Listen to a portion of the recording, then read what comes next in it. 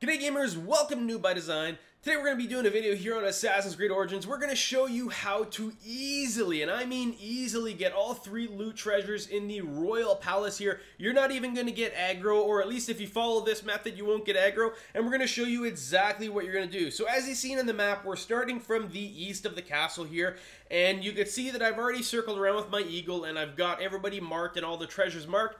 You're going to go up this wall right here. You're going to try to avoid any aggro, so you might go slow. Go across the top of that fence, climb up and go through this opening, drop down to the ground, and then you'll see this one on the base level. You're going to go to the left, and then the, the other one, which is just across on the other side of that wall, also at the main level. Then we're going to go ahead, take the roof, go over the roof, onto this building over to the right, and then we're going to cross over. This other one right here is right through this door on the base level again, and you're going to go over to the left. So a little bit confusing right now, but we'll show you how we do it as we get them here. So shouldn't be a big problem for us at all, and we'll get you through it. Shouldn't be a problem for you guys either.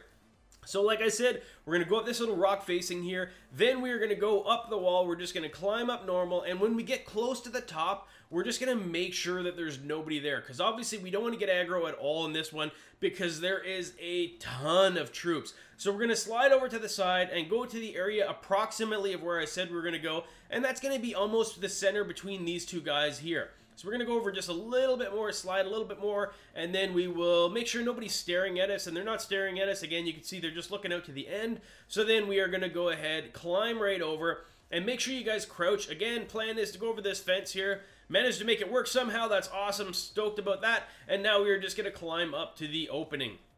You can see we're in the opening here, and now we're going to go and just make sure you hit O if you're on PlayStation 4 to just drop slowly. Don't hold it, just hit it dropping slowly. We're going to drop down, and there's no people in here. They're just guarding the actual entrance to it. Try not to do that, though. This was smooth right up until I lit myself on fire. Definitely recommend don't light yourself on fire.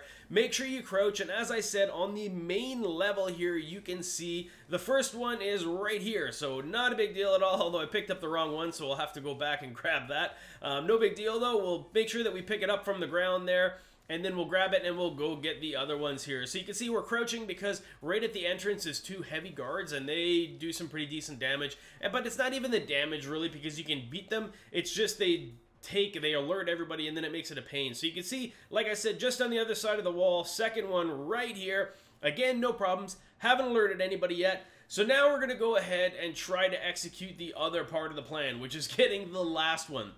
The last one is a little bit difficult, but I assure you guys, if you follow this, you won't have any problems at all. So I'm just checking up here to see if there is any windows so I can save myself some time. Turns out there's not. So we'll just go ahead, climb back up the way we went in, or the way we came in there. We're going to climb up this statue here, go out that same window, and then we're going to just make our way to the roof. And we'll show you guys again. The whole purpose of this one is to do it fast by not getting aggro. And that's the biggest, most important thing anyway.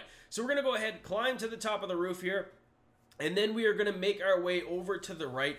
Conveniently, there's a couple cables that connect the tops of the roof, so you're way out of range and, and they can't aggro you. But we're just going to crouch in case it makes less noise and you're less visible for everybody. So again, here's one of the first cables here. We're going to crawl over to this roof here. Then once we get here, there just happens to be another one that connects on the second level and the mid-level here to the other roof. And we're going to use that to our advantage. Again, you can see there's a guy walking right this way, but he can't see you, which is awesome because then you don't have any problems. Again, we're going slowly, we're crouching, and we're going to get right to this edge, and we're going to just hit O again if you're playing PlayStation 4 to slowly go down because we don't want to make any crashing sounds. Now we're going to walk to the far side of the roof. So we're going to go to the other side of the roof from where we came in and then we're going to wait for this patroller to get through. It just happened to work out perfectly for me. He's actually walking his way through. We're going to crouch over, because again, if you drop from here, it might make some sound, and I really don't want it to sound and to turn that guy around. So we're going to hit O and kind of slowly go down the post here, and then crawl or creep behind him. And as I said, this one here is just on the base level, which we're on right now, and it's just over to the left. So you can see we've now got right all the way over. This is going to be picking up our last one, our third one. No aggro, super super easy. If you guys follow this path, it'll be no problems for you at all. Just make sure ahead of time that you guys use your eagle to mark everybody because then you can see where they're going. If you guys found this video useful, I sure would appreciate if you guys would click that like button.